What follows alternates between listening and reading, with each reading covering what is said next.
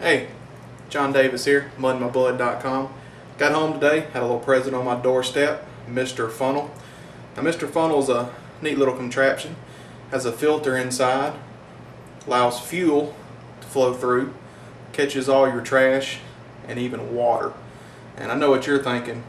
What good are new toys if you can't test them out in the kitchen sink first, right? So that's what we're gonna do. Alright, so what we're gonna do is just fill old Mr. Funnel up here right under the kitchen sink. You can see the water is going in there.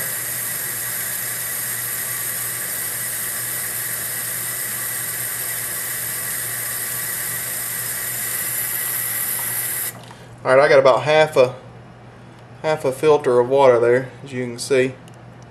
Plenty of water in there. The water is up around the filter, but there is no water at all coming out of the bottom. That is the magic of Mr. Funnel.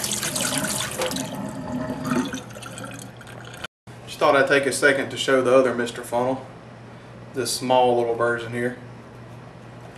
There's the larger version. There are several different sizes, but these are the two that I got.